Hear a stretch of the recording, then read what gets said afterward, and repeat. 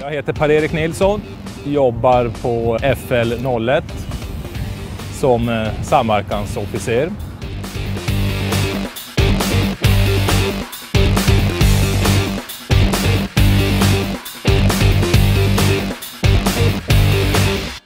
Mina uppgifter där är att eh, samverka med, eh, inom RT-spåret och räddningstjänsten, se att de upprätthåller rätt räddningsnivåer, även utbilda eh, den lokala räddningstjänsten här.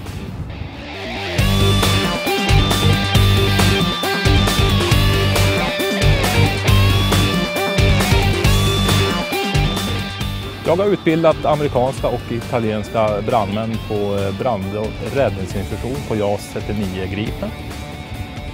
Där talar man om vilka risker det finns med flygplanet i samband med brand.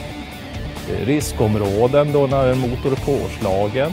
De får handgripligen eh, mer eller mindre sagt lära sig hur man gör en nödförslag på motor, hur man öppnar huv, hur man öppnar huv om flygplanet inte fungerar som det ska.